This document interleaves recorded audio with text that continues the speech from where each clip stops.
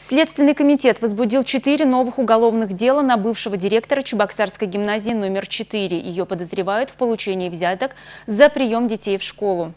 По версии следствия, в период с марта по июнь текущего года в Чебоксарах подозреваемая как лично в своем служебном кабинете, так и через находящуюся в ее пользовании и распоряжении банковскую карту получила взятки на общую сумму 104,5 тысячи рублей от четырех местных жителей за прием их детей на обучение возглавляемое ею образовательное учреждение. Ранее в отношении подозреваемой было возбуждено три аналогичных уголовных дела по фактам получения ею взяток на общую сумму 90 тысяч рублей от родителей за прием их детей на обучение в гимназию номер 4. Подозреваемая находится под домашним арестом. Арест также наложен на ее автомобиль и банковские счета.